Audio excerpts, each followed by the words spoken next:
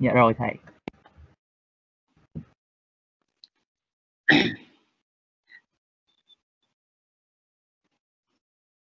Như nó đang quay rồi. Thế thì bây giờ là mụn trứng cá là bệnh có tỷ lệ mắc cao, nghĩa là cái số lượng mà bệnh nhân bị mụn trứng cá rất là nhiều. Thì trong cái nhóm bệnh da liễu đó, bệnh ngoài da đó, thì mụn trứng cá nó đứng hàng thứ nhì, nó chỉ sau bệnh viêm da cơ địa thôi. Và cái tỷ lệ của nó thì có thể lên tới 18 phần trăm nghĩa là trong 100 người đến người bị da liễu cám thì trong đó có khoảng chừng 18 người là có vấn đề liên quan đến mụn trứng cá. Thì à, đến bây giờ cái quan điểm hiện bây giờ thì nó được xem như một bệnh mãn tính có thể mắc bệnh trong giai đoạn từ 10 tuổi đến 50 tuổi.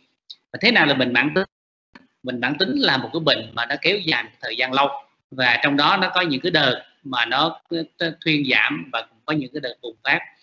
Mà đặc biệt khi mà đã xem là bệnh mãn tính đó, thì mình phải điều trị chứ không thể là bỏ qua được. Một số bệnh mãn tính như là cao huyết áp là tuổi đường thì hiện bây giờ người ta xem bệnh mụn trứng cá là một trong nằm trong cái nhóm bệnh mãn tính chứ không phải là một bệnh thoáng qua trong như trước đây. Ví dụ trước đây thì mình à, thường nghĩ là bệnh mụn trứng cá là một cái bệnh mà nào của lứa tuổi học trò nghĩa là nó chỉ bị một cái thời gian rồi nó sẽ bắt đi nha. Vâng làm cho này.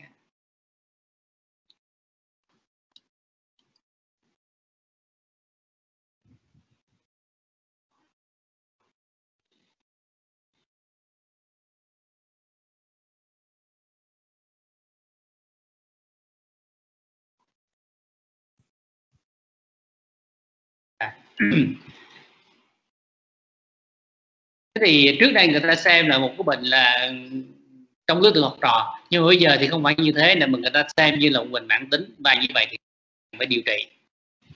Về cái cơ chế bệnh sinh của một đứa cá thì nó là một cái có cơ chế phức tạp. Do đó là cái khi mà điều trị thì mình cần phải phối hợp nhiều loại thuốc với nhau và đặc biệt là kéo dài cái thời gian điều trị ra.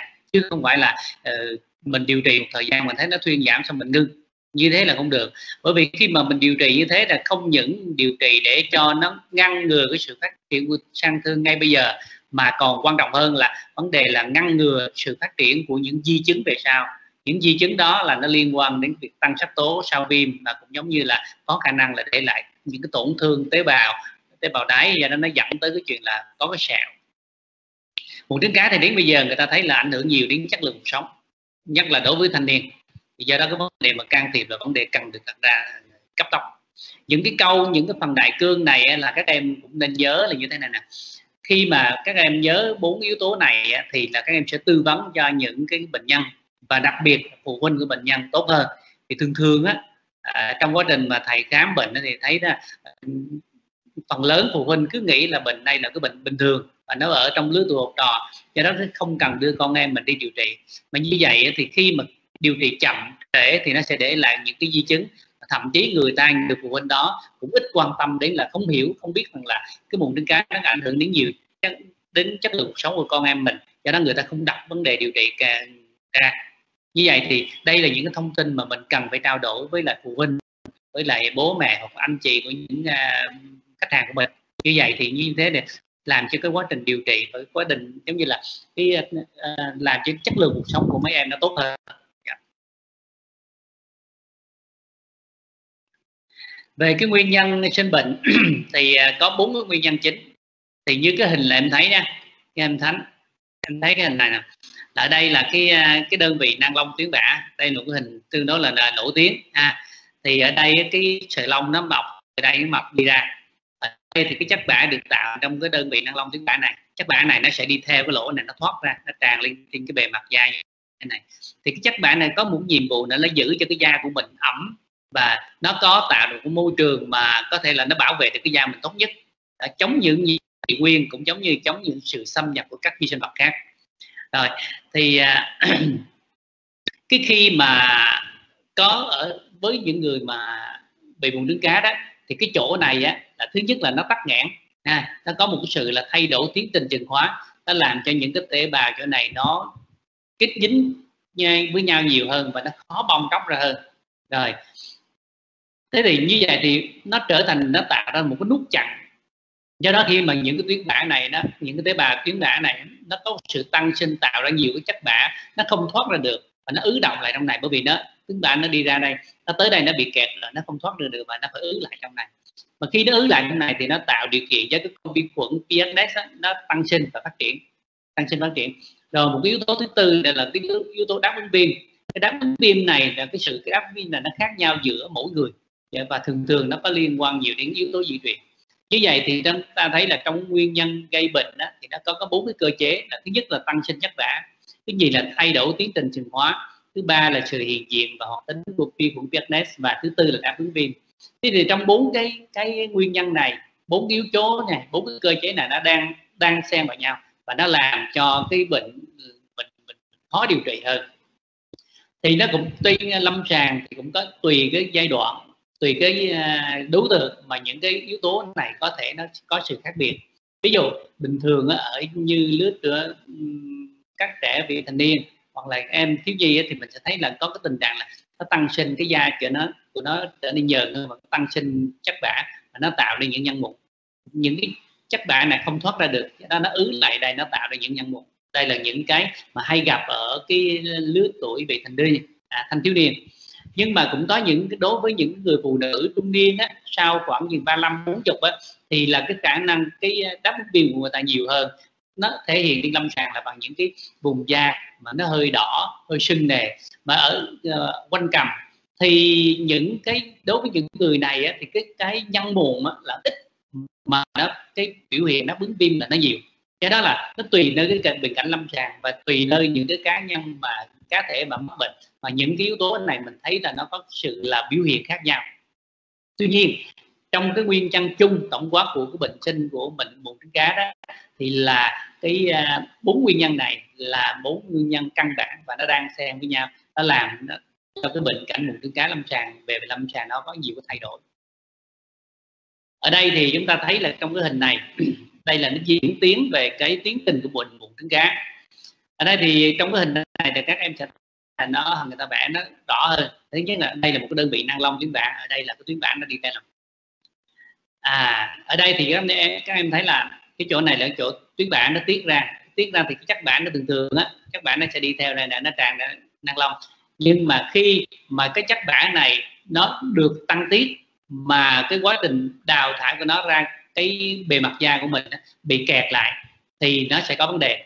Ở đây đối với những người mà bệnh nhân mụn trứng cá thì thường thì bên cạnh cái chuyện mà có cái sự tăng sinh kích dính của tế bào sừng thì cũng còn có cái chuyện là những cái đơn vị ở những cái miệng năng long của của những người này thì cái cấu trúc của nó nó không được suôn sẻ. Và có thể là cái chỗ này các em thấy là những cái cái, cái cấu trúc giải phẫu học đó, nó không có được suôn sẻ. Và có thể là nó có những cái khúc khuỷu nó làm cho dễ ứ động. Ở bên cạnh đó có cái chuyện mà dễ tăng sinh tăng sinh ờ, cái dính tế bào nó làm cho những cái miệng năng long nó dễ bị kết dính với nhau và dễ bị chặn nó tạo thành cái nút chặn như vậy, nó làm cho cản trở quá trình mà tiết cái chất bã đi ra bề bên ngoài. Như vậy thì nó làm cho cái nhân mụn ở lại, nó cứu lại đây này.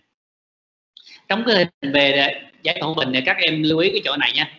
Ở đây thì chúng ta thấy nè, cái chỗ này, cái đường nhú nè, nha. Ở đây là bề mặt da của mình nha. Ở đây là có cái chỗ nhú nhú nhú nè. Thì như vậy thì cái phần này, các em có thấy cái chỗ mà mũi tên không có thấy không thì mũi tên mũi mũi cái anh trọ của thầy là tụi em không thấy này. Chú ý con trỏ nha hơi nhỏ. Thì cái chỗ này nè ở đây nha ở đây tới đây là cái này là cái phần là lớp thường bì của mình nha. Mà cái lớp thường bì của mình thì là gồm có mấy lớp? Thường thường thì là gồm gồm có là bốn lớp à, à sừng hạt gai căng nha. Ở đây là lớp căn bản nè. Cái tới lớp hạt tới lớp gai và đây này là lớp sừng. Thì như vậy thế trong cái hình này mình sẽ để ý nè cái toàn bộ cái đơn vị năng lượng tiếng bản nó nằm ở trong cái lớp thực bì. Nha. Thế thì bây giờ cái lớp, đây là lớp sừng nè. Nó đi quanh như này. Còn cái lớp căn bản á, là lớp nhún nhún nhún như này nè, thì nó bọc nguyên cả một cái khối này. Bọc nguyên cả khối này. À các em nhớ chi tiết về giải phẫu học này nha. Lát nữa mình sẽ đi tới những hình dưới. Thế thì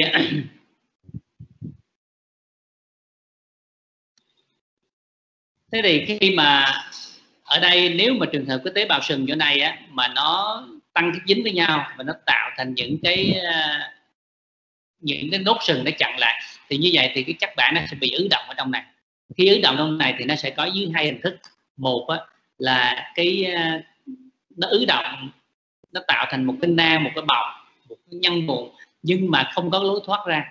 Thì như vậy cái chỗ này thì tạo ra cái tình trạng này là nhân mụn cái cá mở ai đóng hay là kinh nhân đầu trắng? Vì mình không thấy cái cái cái, cái màu gì đó mình chỉ thấy chỗ này là trên da mình có hiện lên một cái sẵn hơi nhờ nhờ thôi còn không thấy cái miệng ở đâu cả. Thì đây là cái hình thái là thứ nhất là cái nhân tuyến vã mà không có lối thoát không có cái miệng mở. Nhân là người ta gọi là nhân đóng hoặc là cái nhân đầu trắng. Rồi một hình dạng nữa trên lâm sàng nữa là cái nhân này là nhân mở. Là vì sao? Cái chỗ này cái miệng này cái chỗ năng long này nó mở ra thì như vậy cái chất bã trong này nó tiếp xúc với cái không khí bên ngoài. Và nó bị oxy hóa nó tạo nên có một cái màu đen. Thế thì bây giờ là cái chỗ này là như vậy thì mình sẽ có hai cái hình thức. Một là nhân mụn trứng cá à, đầu trắng và nhân mụn trứng cá đầu đen nha. Rồi thêm một cái nữa tiếp theo.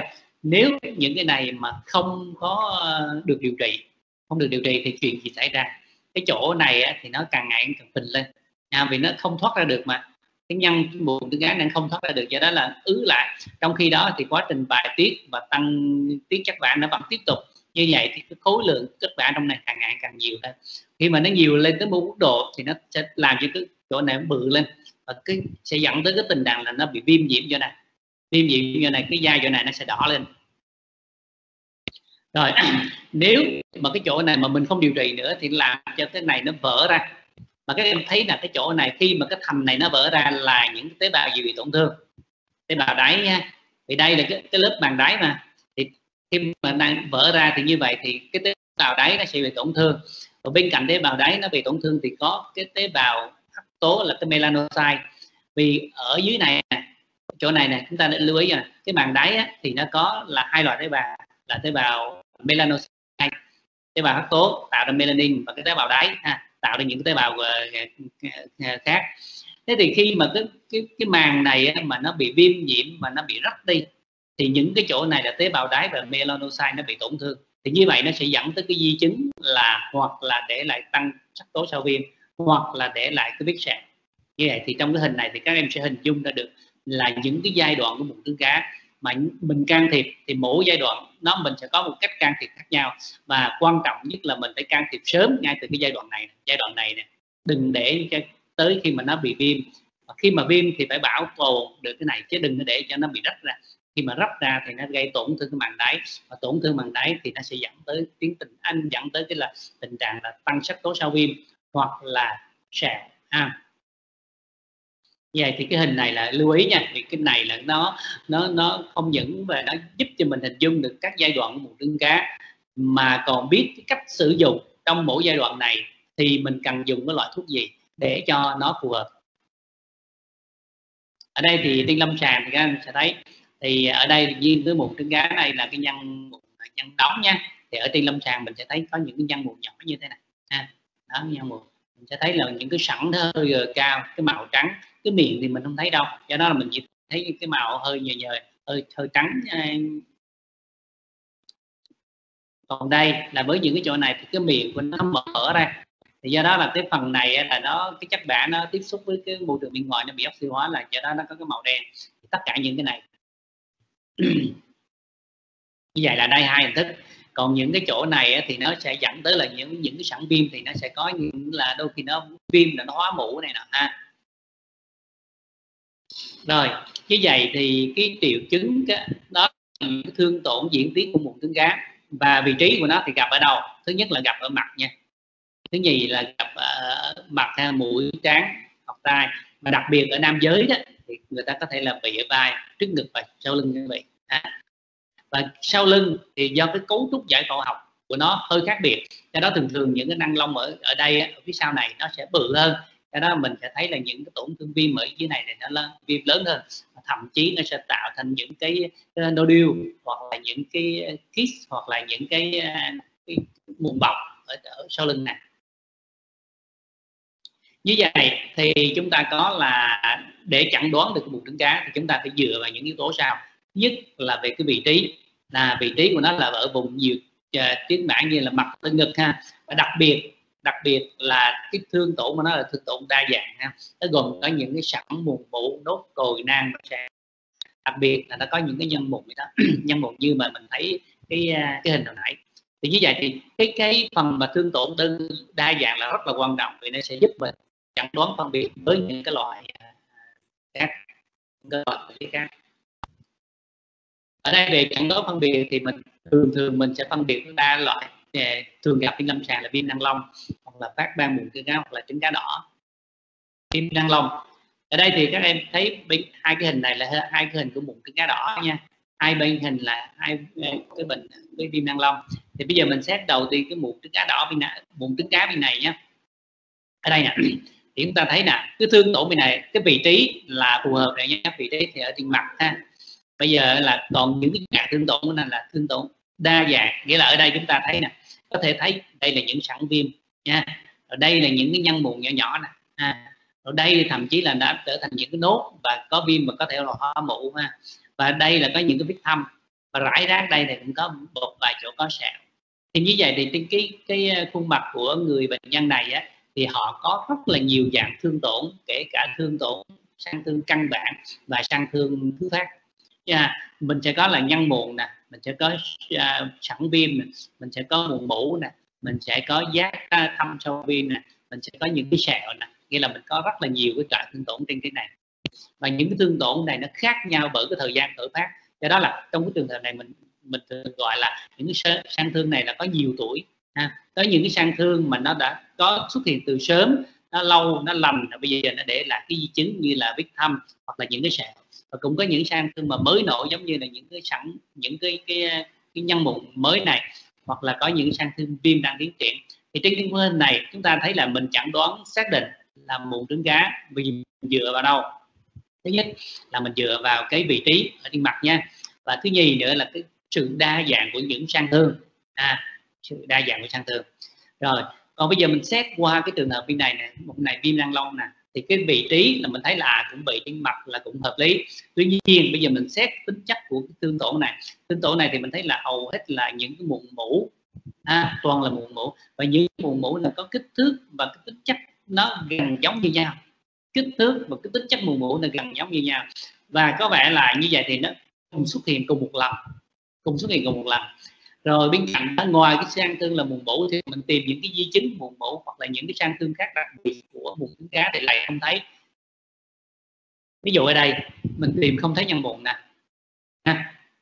mình tìm không thấy cái sẵn viêm nhé đó. Rồi đặc biệt là mình cũng không tìm thấy những cái di chứng như thì giác tăng sắc tố hoặc là những cái sẹo mà những cái này thì như vậy như vậy thì cái trong cái trường hợp này á, là vị trí thì phù hợp với mụn trứng cá nhưng nhưng mà cái uh, những cái tính chất đa dạng của sang thương là không có. Và đặc biệt một cái hình thái căn bản của mụn trứng cá là cái nhân mụn là mình cũng có nha. Ở đây là cái vị trí trên trên, trên, mặt còn đây là sau gái của của anh anh, anh, anh bạn này.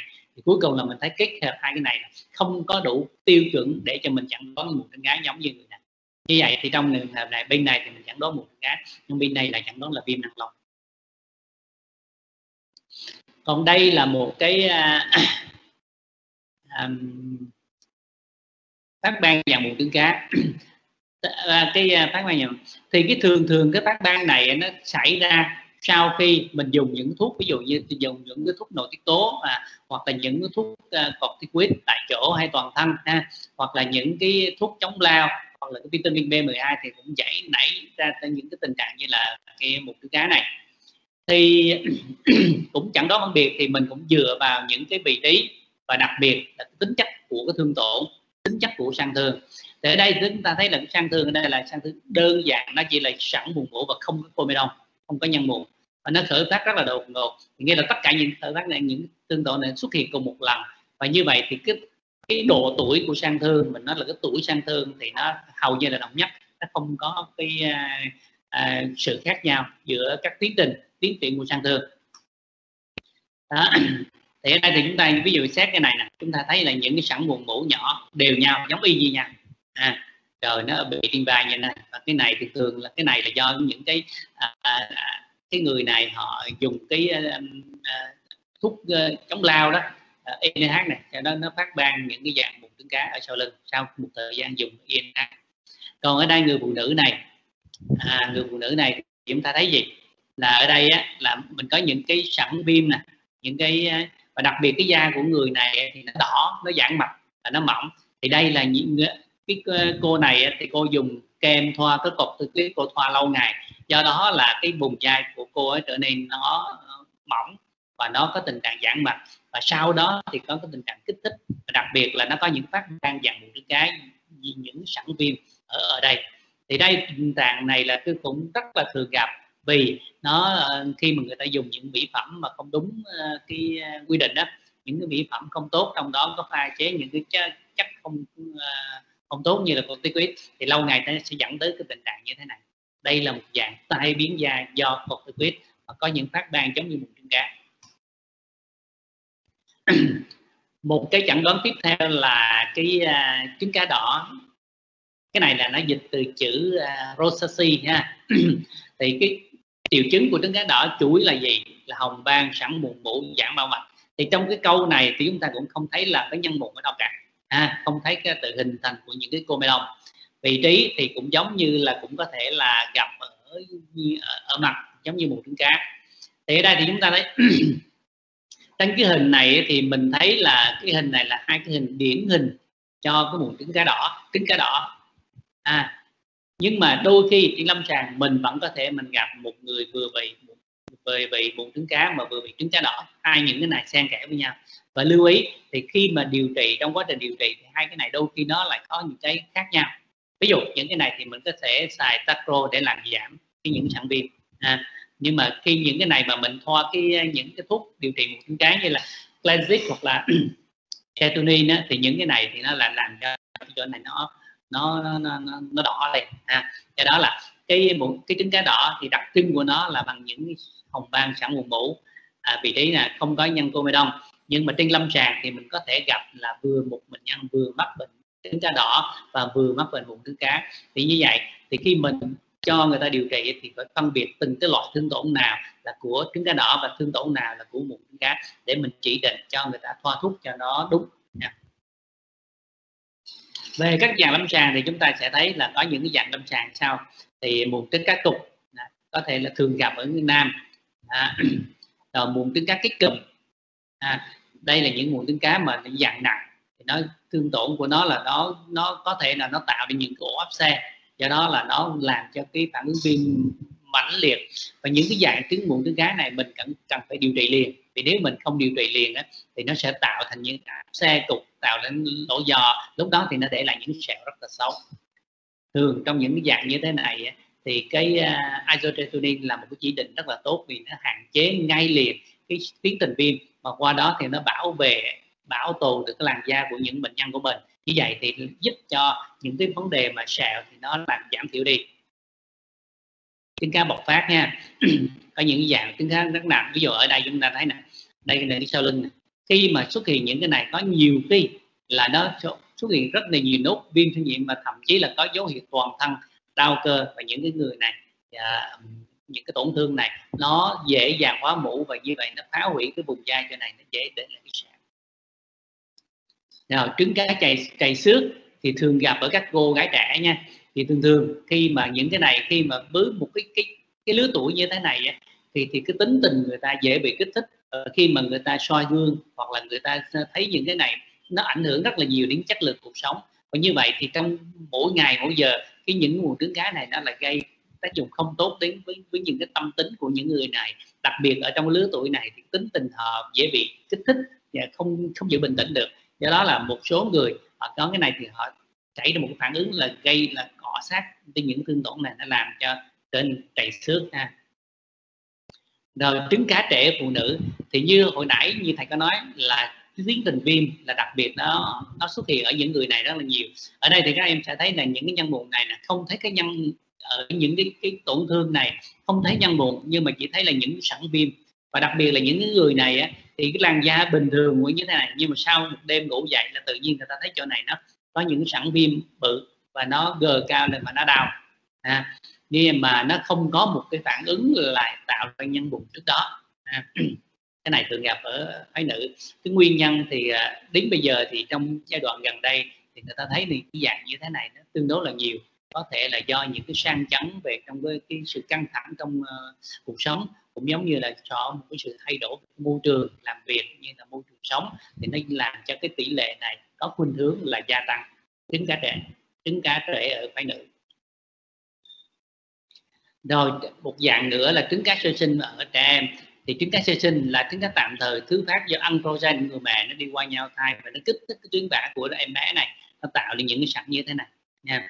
Thì với những cái trường hợp như thế này, mình không cần điều trị gì, mình chỉ cần giữ cho nó sạch những chỗ này. Rồi qua một thời gian thì những chỗ này nhân vùng này nó sẽ khô, nó sẽ bong ra. Và khi đó thì androgen này nó cần và trong máu của em bé thì nó được thải trừ như vậy nó không tạo ra những cái sang thương mới.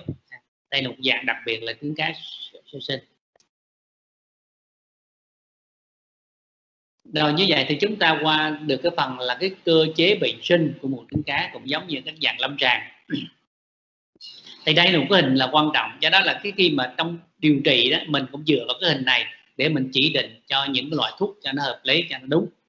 Ở đây thì à, chúng ta quay lại nè mình sẽ có bốn cái nguyên nhân mà gây ra mụn trứng cá nha. Thứ nhất là cái chuyện tăng sinh bã nhờn nè. Thứ nhì khi mà tập bã nhờn tăng sinh ra rồi mà lại không đi ra được cái, cái à, thoát ra ngoài da bởi vì nó bị kẹp ở cái chỗ này là nó do tăng sừng tăng sự kết dính của các tế bào sừng. Các tế bào sừng kết dính tạo thành một nút chặn làm cho cái chân tuyến bã cái, cái chất bã này không thoát ra được. Và khi mà không thoát ra được thì nó ứ động ở trong cái cái cái lòng của cái đơn vị năng lâm tuyến bã và như làm như thế là vi khuẩn nó tăng sinh vi khuẩn kết nó tăng sinh. Nhưng mà bên cạnh đó là cái khả năng đáp ứng pin là của mỗi uh, cá thể nó làm cho bốn nguyên nhân này nó xen kẽ với nhau nó tạo ra một trứng cá thế thì trong bốn nguyên nhân này chúng ta sẽ có cái cách điều trị như thế này. Thì để giải quyết về cái tắc lỗ chân lông à, năng lông rồi tăng à, ờ, tăng sừng thì bây giờ mình sẽ có những cái thuốc như thế này? Thứ nhất là mình những có những thuốc tiêu sừng bằng isotretinoin à, à, retinoid hoặc là benzoin benzoyl peroxide hoặc là axit azelaic hoặc là axit salicylic hoặc là nội tiết tố là mình can thiệp cái khâu này.